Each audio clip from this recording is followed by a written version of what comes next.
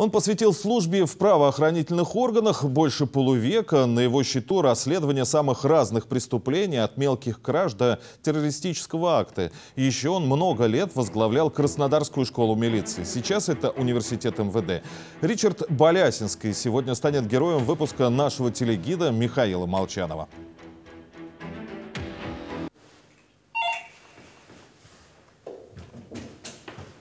Так, о, Здравия желаю. Миша, просто здравия желаю. Мы с тобой не на службе. Ну, Так что, милости прошу, в гости заходи. Ты прямо с тортом. Это, это, ну, конечно. Ну это, Ладно. сейчас мы его и уничтожим все вместе. Хорошо, пошли, заходите. Профессиональная история, а еще события из криминальной жизни города. Смотрите сегодня в 16 часов в программе «Экскурсионный Краснодар» на нашем канале.